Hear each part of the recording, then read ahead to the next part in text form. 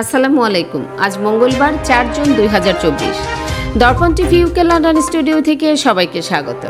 পুলিশের সাবেক মহাপরিদর্শক, আইজিপি বেনজির আহমেদের আলাদিনের চেরাক তথা জাদুর কাঠের স্পর্শে আলোকিত হয়ে ওঠেন তার সহযোগীরাও।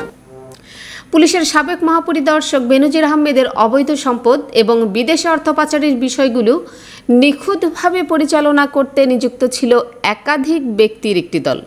তারা মূলত বেনজিরের জন্য দেশে বিদেশে জমি বা সম্পদ কেনা, ব্যবসায়ীদের প্রলোভন দেখিয়ে অর্থ হাতিয়ে নেওয়া, ক্রসফায়ারের ভয় দেখিয়ে নির্যাতনের মতো অপকর্ম সামাল দিতেন। শুধু তাই নয়, বেনজির নিজের নেপথ্যে থেকে এই সিন্ডিকেট সামনে রেখে নিয়ন্ত্রণ করতেন পুলিশের বিভিন্ন প্রকল্পের ব্রাঞ্চিং, নিয়োগ ও বদলি বাণিজ্য। এই দলের অগ্রভাগে ছিলেন জিএম সাব্বির ওরফে বিকাশ সাব্বির, নাজমুস সাকিব জুবায়ের ও আমজাদ হোসেন আরজু। অনুসন্ধান বলছে বেনজির আহমেদের আলাদিনের চেরাক তথা জাদুর কাঠির স্পর্শে আলোকিত হয়ে ওঠেন তার সহযোগীরাও। বেনজিরের মতো তারাও দেশে বিদেশে গড়ে তুলেছেন অঢেল সম্পদ। বেনজিরের স্ত্রী ও কন্যাদের সঙ্গে অংশীদারি ব্যবসা রয়েছে। আছে নামে বেনামে জমি, ফ্ল্যাট, প্লট।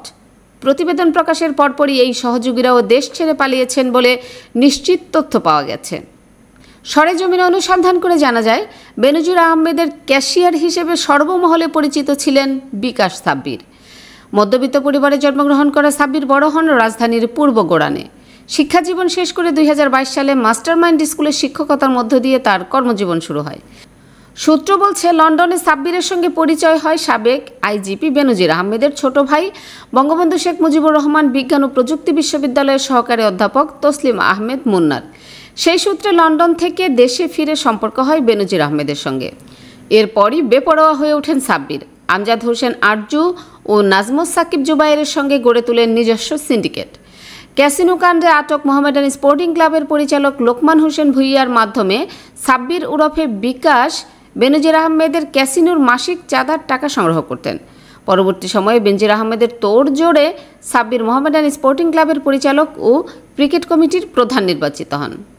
অনুসন্ধানের তথ্য বলছে, বেনজির আহমেদের ক্যাশিয়ার হিসেবে সবার কাছে পরিচিত হয়ে ওঠেন এই বিকাশ সাব্বির এর মধ্যেই বেনজির আহমেদের পরিবারের ব্যবসায়িক অংশীদার হয়ে ওঠেন জিএম সাব্বির, নাজমুস সাকিব জুবায়ের ও আমজাদ হোসেন আরজু।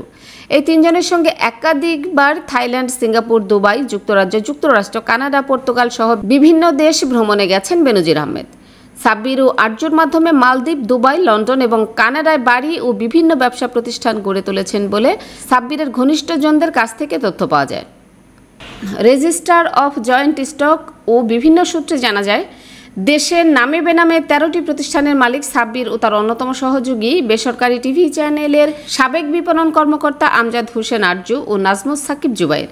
এর মধ্যে একটি শিশির বিন্দু Rahils media limited, LB limited, Connexia limited, centre for renewable energy service limited, Bentech, Elco cable limited এই X A power limited, main square management limited, Richmond management limited, stealth industries limited BTL international নামে প্রতিটি কোম্পানিতে GM Sabbir, Amjad Hossain Arju ও নাজমুস সাকিব জুবাইরের বিপুল পরিমাণ share আছে।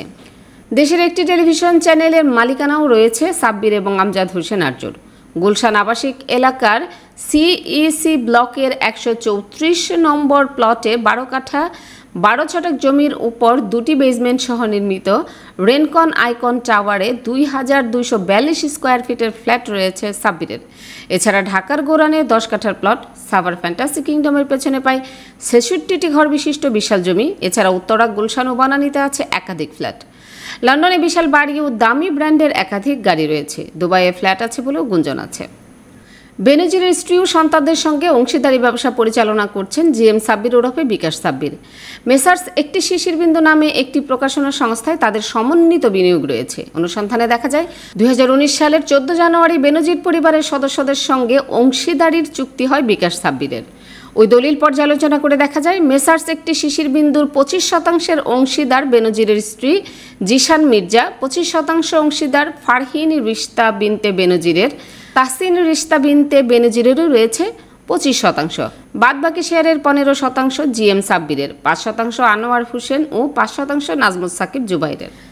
শফিকুল ইসলাম নামে এক ব্যবসায়ী বলেন, দুই হাজার আঠারো সালে মুনাফার প্রলোভন দেখিয়ে আমাকে বিনিয়োগের প্রস্তাব দেন সাব্বির ও আমজাদ হোসেন। ওই সময় তারা মোবাইলে বেনজির আহমেদের সঙ্গে থাকা একাধিক ছবি আমাকে দেখান। বেনজির আহমেদ তখন র্যাবের মহাপরিচালক হিসেবে দায়িত্বে ছিলেন। আমিও সরল বিশ্বাসের দুই দফায় চব্বিশ লাখ পঞ্চাশ হাজার টাকা বিনিয়োগ করি। কিন্তু বিনিয়োগের পরই তাদের মুখোশ উন্মোচিত হয়। তারা টাকা ফেরত দিতে তালবাহানা শুরু করে। তিনি আরও বলেন, টাকা ফেরত পেতে আমি চাপ দিলে দুই হাজার একুশ সালে আমাকে ধানমন্ডির আট নং ব্রিজ সংলগ্ন রবীন্দ্র সরোবর থেকে তুলে নিয়ে যান। এ সময় তারা সাদা কাগজে আমার কাছ থেকে স্বাক্ষর নেন।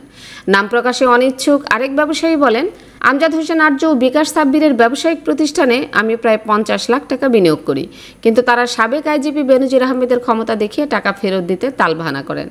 একাধিকবার হুমকিও দেন। এ প্রসঙ্গে জানতে জিএম সাব্বির ও আমজাদ হোসেন আরজুকে একাধিকবার ফোন দেওয়া হলেও তাদের ফোন সেট বন্ধ পাওয়া যায়। সূত্র বলছে বেনদির আহমেদের সম্পদের পাহাড় নিয়ে প্রতিবেদন প্রকাশ পাওয়ার পর তারাও দেশ ছেড়ে পালিয়েছেন। সুপ্রিয় দর্শক, এতক্ষণ আমাদের সঙ্গে থাকার জন্য ধন্যবাদ। আশা করছি দর্পণ টিভি ইউকে ফেসবুক পেজটি লাইক, কমেন্ট ও ফলো করে আমাদের সাথেই থাকবেন। আল্লাহ হাফেজ। চব্বিশ ঘণ্টা, সপ্তাহে সাত দিন। আকর্ষণীয় এক্সচেঞ্জ রেটে সমগ্র যুক্তরাজ্য থেকে বাংলাদেশে টাকা পাঠান আইএফআইসি মানি ট্রান্সফার ইউকে লিমিটেডের মাধ্যমে। যখনই পাঠাবেন, তখনই জমা হবে আইএফআইসি কিংবা দেশের যে কোনো ব্যাংক অ্যাকাউন্ট এবং বিকাশ ও নগদ ওয়ালেটে। মানি ট্রান্সফার করতে সার্বক্ষণিক আছে আমাদের মোবাইল অ্যাপ এবং আপনার নিকটস্থ অনুমোদিত এজেন্ট। বিস্তারিত জানতে কল করুন zero two zero seven two four seven nine six seven zero নম্বরে। আমাদের ঠিকানা eighteen Brick Lane London E one six R F UK IFIC money transfer UK limited IFIC ব্যাংকের নিজস্ব প্রতিষ্ঠান।